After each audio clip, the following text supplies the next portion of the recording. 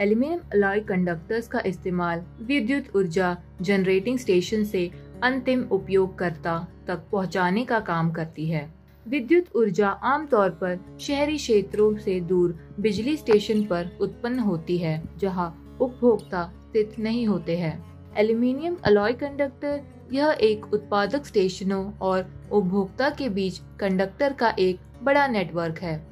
यह transmission system आमतौर पर ओवरहेड और अंडरग्राउंड जाती है। इन बिजली के ट्रांसलेशन के लिए एल्यूमिनियम अलॉय कंडक्टर का इस्तेमाल किया जाता है। बिजली के वितरण के लिए एएसी और ट्रिपल एसी कंडक्टर ज़्यादातर उच्च वोल्टेज ट्रांसमिशन को पूरा करते हैं। एल्यूमिनियम वज़न में समान रूप से हल्का होता है। भारत के तेज़ी से बढ़ती जनसंख्या वाला विकासशील देश है। देश की आर्थिक वृद्धि और किसी भी आवश्यक वस्तुओं की मांग जनसंख्या के कार्य के रूप में बढ़ती है और विद्युत शक्ति की मांग भी जनसंख्या के कार्य के रूप में बढ़ती है। और आज की आधुनिक दुनिया में बिजली पर निर्भरता इतनी अधिक है कि हमारे जीवन का हिस्सा बन गई है। इसीलिए एल्यूमिनियम अलॉय कंडक्टर की डिमांड मार्केट में बढ़ रही है।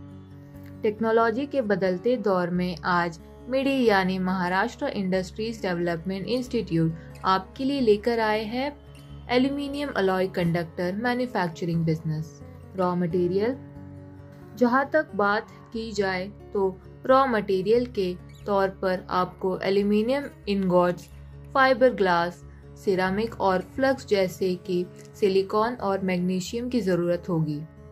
प्लांट एंड मशीनरीज आमतौर पर इस बिज़नेस में लगने वाली मशीनरी कुछ इस प्रकार है। Gas furnace bar straightening machine wire drawing machine stranding machine process process की शुरुआत एल्यूमिनियम को पिघलाने से होती है, जहाँ यह aluminium ingot melting furnace में 800 डिग्री सेल्सियस पर पिघलाई जाते हैं। फिर पिघले हुए एल्यूमिनियम इन गॉट में फ्लक्स मिलाकर उसे फिल्ट्रेशन प्रोसेस से गुजारते हैं। साथ ही इस बिज़नेस में लगने वाले फाइबर ग्लास और सिरेमिक को पिघलाकर फ़िल्टर किया जाता है। उसके बाद फ़िल्टर किए हुए एल्यूमिनियम को कास्ट बार में बनाया जाता है। आगे इस बार को स्ट्रेट करके इसकी मोटाई कम की जाती है तो इस तरह बने हुए एल्यूमिनियम अलॉय कंडक्टर को बड़े से बॉबिन में लपेटा जाता है। आगे इस कंडक्टर की अलग अलग प्रकार की टेस्टिंग की जाती है, जैसे कि रैपिंग ब्रेकिंग और रेजिस्टेंस टेस्टिंग इस बिज़नेस की अधिक जानकारी के लिए और एक बिज़नेस में लगने वाली टेस्टिंग प्रोसेस के लिए आप हमें संपर्क कर सकते हो या स्क्रीन पे दिए गए वेबसाइट को विज़िट कर सकते हो। ऐसे ही नए बिज़नेस आइडियाज़ के लिए आप हमारे यूट्यूब चैनल मिडी उद्योग विश्व को सब्सक्राइब करके नोटिफिकेशन बेल पर क्लिक कीजिए।